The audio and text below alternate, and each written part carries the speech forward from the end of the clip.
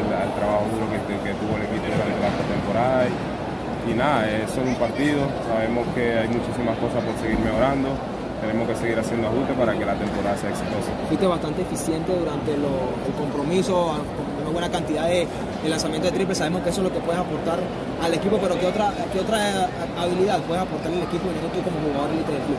Bueno, yo creo que no solamente puedo aportar puntos o triples como está mencionando, creo que puedo aportar liderazgo, y eso es lo que para eso me trajeron, para eso vine y nada, a seguir haciendo las cosas bien como te mencioné, a seguir trabajando, son un partido, queda muchísimo por hacer, muchísimo por mejorar y para que las cosas sigan saliendo bien.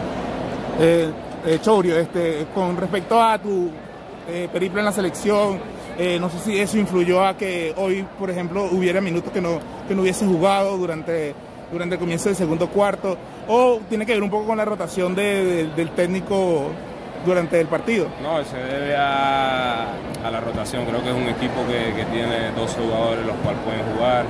Una rotación, vamos a tener una rotación amplia. Sabemos que la temporada es larga y entre, entre menos nos carguemos en minutos los, jugadores titulares, va a ser muchísimo mejor para estar bien hasta el final de la temporada, que es lo que importa. Claro, igual partidos como esos son muy importantes para el tema de, tu faceta ofensiva. Sabemos que, que, eres un jugador más hacia la defensa, que puedes aportar más con rebote con bloqueo, sin embargo la faceta ofensiva la desarrollaste muy bien hoy, eso es muy importante para Cocodrilos también en un juego como este. Bueno, sí, hacer un, hacer un poquito de, de cada cosa, que hacer cosas que aporten para, para conseguir victoria, es lo, único, es lo único que pienso. Puedo tener un buen día ofensivo, pero me, enfoco en hacer cosas que ayuden al equipo a, a conseguir la victoria al final del día. Vale, gracias Pedro.